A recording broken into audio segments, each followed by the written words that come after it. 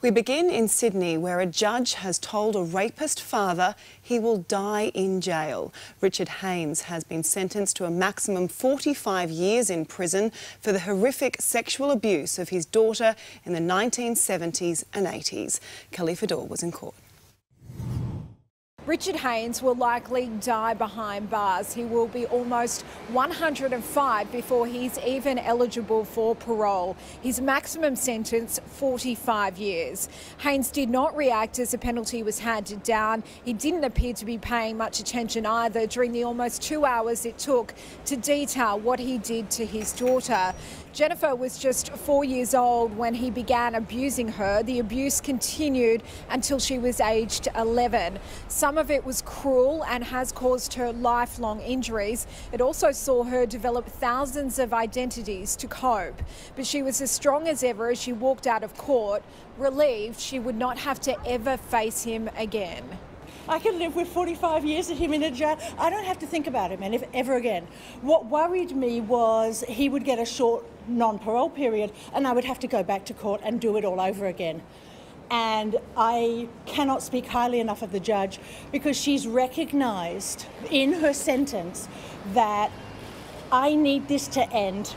I need my life to be about me. Jeni can be identified because she has given us permission. She says that's one of the best decisions she has made because it has given her the power back.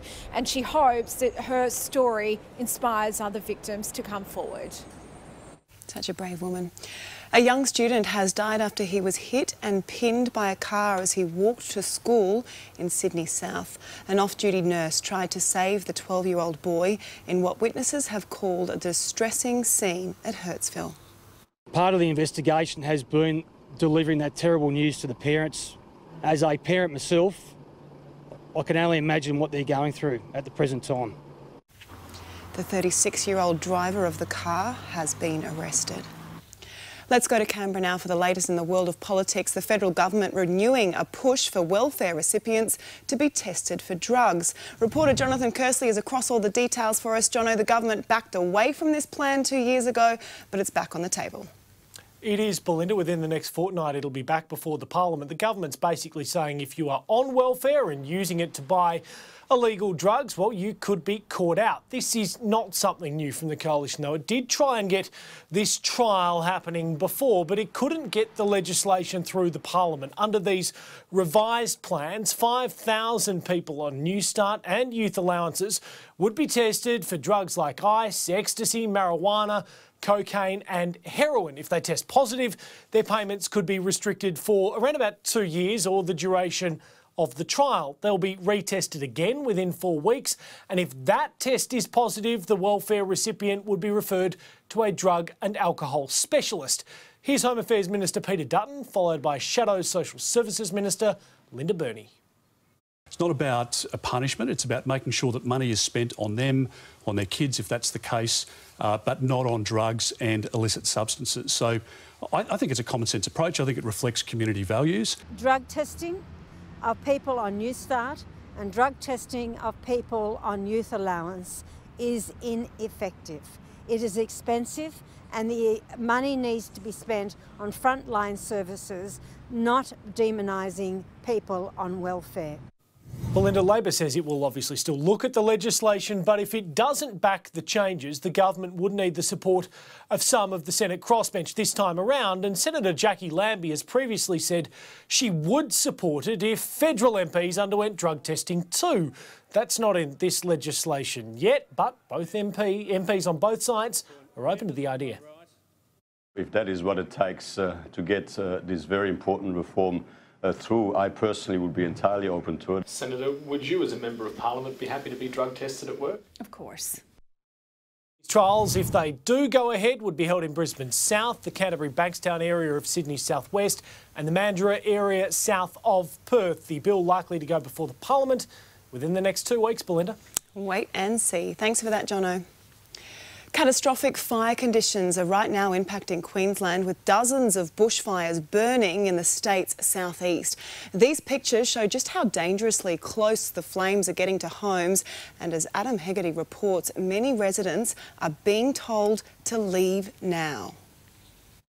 Well, there are around 35 fires burning across Queensland this afternoon in some awful conditions. You can see the fire taking hold here on the Gold Coast hinterland south of Canungra. This is one of the biggest concerns for firefighters today, where people have been told to evacuate their homes. They're hitting these fires from the ground and crucially from the air. Water bombers have been called in to try to get the upper hand in some extremely difficult and inaccessible terrain. You can see from these aerial pictures just how close the fires are getting to homes and properties. Firefighters, along with homeowners who've chosen to stay, have been working extremely hard in these trying conditions, putting in fire breaks to protect those houses. The biggest concern, though, are the wind changes, and those have started to kick in up to 60 kilometres an hour. There are total fire bans in place across Queensland. Authorities are taking no chances. Prepare to leave messages have gone out at several locations where flames are bearing down on homes. Crews are well aware that it's not going to take much at all for these fires to get out of hand and break even more containment lines. We're still waiting for these westerlies to turn uh, in. It's um, the driest I've seen it for a long time. The fire is very difficult difficult to control and once it gets going it's you know it's really quite dangerous and there's not much you can do to stop it. The positive here is we're expecting a cool change this weekend. That's exactly what firefighters need. More than 30 bushfires are also burning across New South Wales. Warm and windy weather is creating the disastrous conditions with total fire bans in place as temperatures reach up to 30 degrees. Areas affected include Greater Sydney and the North Coast, as well as the Hunter, Central and New England regions. To Melbourne, where there's been a small victory in the coroner's court for the family of a woman who died after a fall while in police custody. Carrie Ann Greenbank has more. Well, harrowing and heartbreaking are just some of the words used to describe this footage we're about to show you of Tanya Day in a police cell in Castlemaine in 2017. CCTV cameras capture multiple occasions where she falls and hits her head. One of those falls resulted in a catastrophic brain hemorrhage and her death in hospital 17 days later. It sheds light to you know, the systems that failed mum and the continuation of Aboriginal deaths in custody. Tanya Day's children have been pushing for the release of this footage, which has been played here at the coroner's court at the inquest into their mother's death. They say they want everyone to know how she was treated, saying they believe police failed in their duty of care. There is no question in our minds that Victoria Police should be held accountable. On one occasion, a police officer who was meant to conduct physical checks of Miss Day glanced through a window at her for three seconds. He says he didn't enter the cell because she was in an unladylike position and he wanted to protect her dignity. I think it's absolute rubbish that, you know, her dignity was for her to be looked after and she wasn't looked after. The inquest continues here at the coroner's court with paramedics saying they were given a false impression of just how serious Tanya's injuries were when they took her to hospital. Tanya Day's family say they strongly believe subliminal racism was a factor in their mother's death and say they hope the release of this footage will spark change in the police force. A positive development for the Tamil family facing deportation for Australia. They've now been given a further reprieve. The federal court in Melbourne today extended an injunction to keep them here for 12 more days. Justice Mordy Bromberg stopped the removal of the youngest daughter until 4 p.m. on the 18th of September. Hi YouTubers, I'm Davina Smith. Well, click here to keep watching Great 9 videos and subscribe to our channel here for lots more news, analysis and exclusive content. For breaking news, see you at 9news.com.au.